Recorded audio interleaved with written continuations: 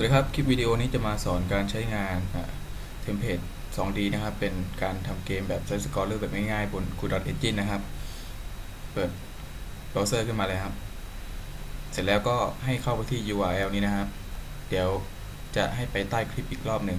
หลังจากเข้ามาแล้วนะครับ ให้กดที่ clone or download ตรงนี้นะครับ แล้วก็กด Download ZIP นะครับ เมื่อดาวน์โหลดเสร็จแล้วนะครับ ก็ให้เข้าไปที่ไฟล์นะครับ ไฟล์ที่ดาวน์โหลดนะครับ เสร็จแล้วก็จะได้ไฟล์นี้มาครับ 2D Side Scroller Template Master zip นะครับ หลังจากนั้นก็กดแตกไฟล์นะครับพอกดแตกไฟล์มาแล้วจะได้โฟลเดอร์ชื่อนี้นะครับ 2D Side Scroller Template Master นะครับ หลังจากนั้นก็ให้ไปเปิดโปรแกรม Godot Engine นะครับ ซึ่งไปโหลดมาได้จากเว็บ go. เลยนะครับ เข้าไปที่ Google นะครับ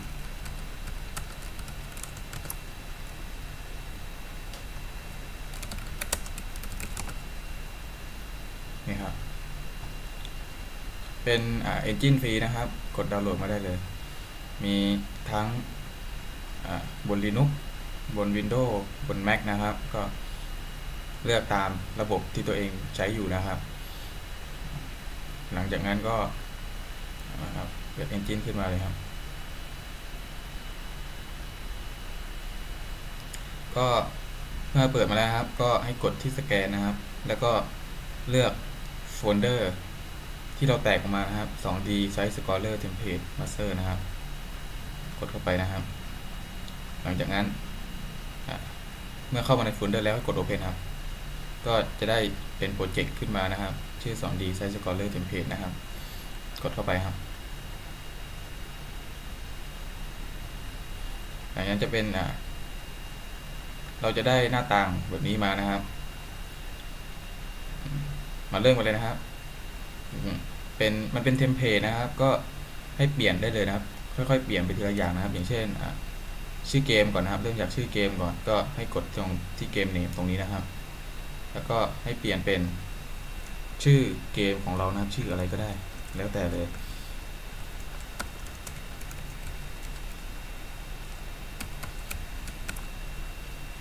นะครับ เสร็จแล้วก็ได้ชื่อเกมมาแล้วใช่ไหมครับ คราวนี้เรา เราสามารถเลื่อนได้นะครับ เลื่อนได้ว่าต้องการให้มันอยู่ตรงไหนนะครับ เช่นอยู่ตรงกลางตรงนี้นะครับ เสร็จแล้วก็มาเริ่มการเปลี่ยนพื้นหลังนะครับ ไปที่ BG นะครับ กดที่ texture นะครับ กดโหลดนะครับ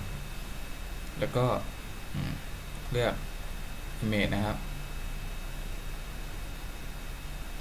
สามารถเอาหาพื้นหลังมาใส่ได้นะครับ โดยการไปที่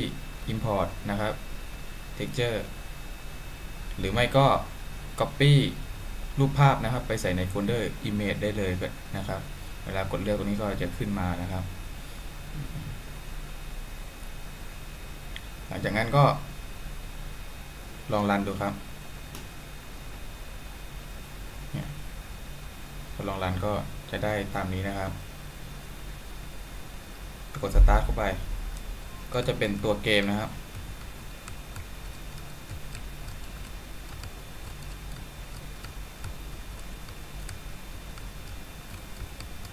เนี่ยก็จะประมาณนี้ครับ เสร็จแล้วก็ ให้ไปคราวนี้ตัวเกมเมื่อกี้เห็นไว้แล้วใช่ไหมครับ คราวนี้เราจะลองเข้าไปดูนะครับเลือกที่เทสซีนะครับ นี่ครับอั นนี้ก็จะเป็นฉากที่ผมสร้างขึ้นมาไว้ก่อนแล้วนะครับ สามารถสร้างฉากเองได้นะครับ โดยการไปที่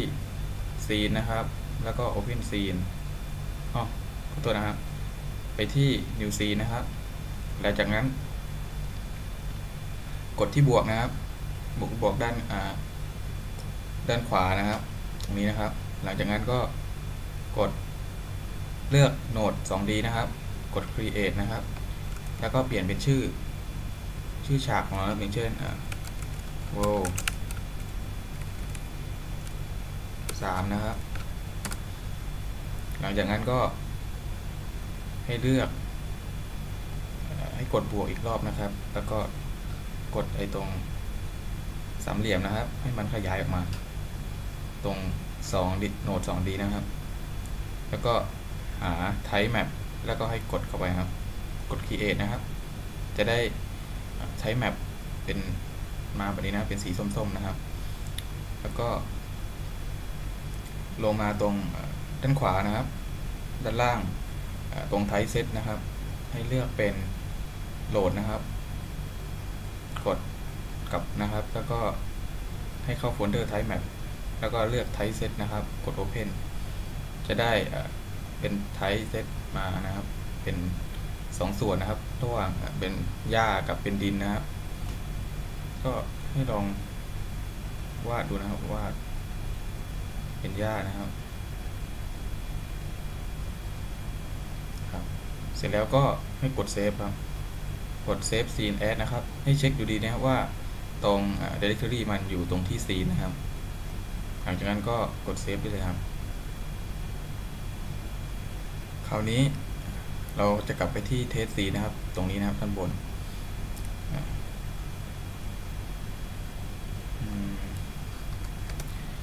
นะครับ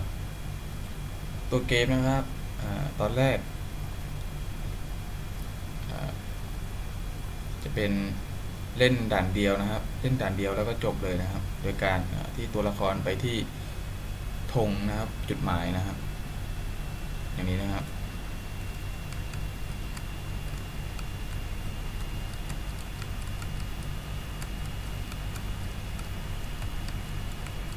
เนี่ย ก็จะจบเลยครับ เข้าตรง Mission Complete นะครับ ก็คราวนี้เราจะทำยังไง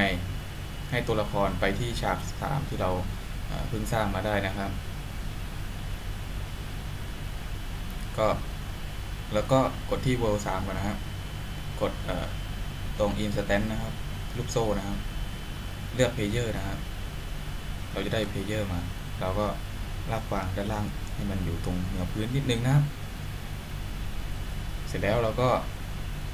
กลับไปที่ Scene แรกนะครับ ที่ Test Scene นะครับ ให้ลบโกออกนะครับ แล้วก็ให้กดตรง Test Scene นะครับ แล้วก็เลือก Instance นะครับ ตรงลูกโซ่นะครับ เลือก Port Portal นะครับ เสร็จแล้วกด Open นะครับ มันจะมาอยู่ตรงตรงนี้นะครับ ให้เราลากมานะครับ ลากมาไว้ตรงสุด Map นะครับ เสร็จแล้วก็ให้กดที่ Portal ครับ ตรงด้านล่างนะครับ ตรง Inspector นะครับ ให้เลือก Next Scene นะครับ กดเข้าไปครับ แล้วก็เลือกไฟล์ เสร็จแล้วให้กดกลับไปนะครับ ไปที่ Scene Folder Scene ของเรานะครับ เสร็จแล้วก็เลือก World 3หลังจากนั้นก็ลองเล่นดูครับ ลองกดเล่นดู กด Start ครับ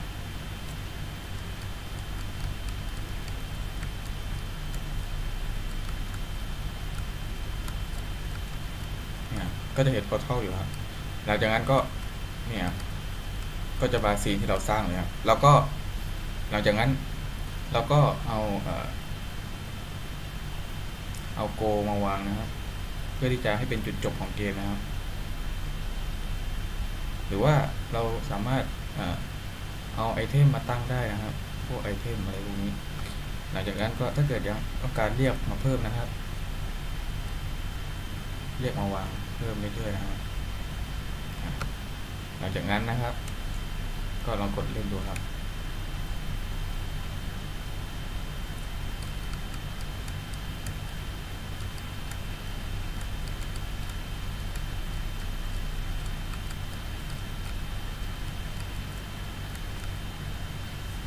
ครับ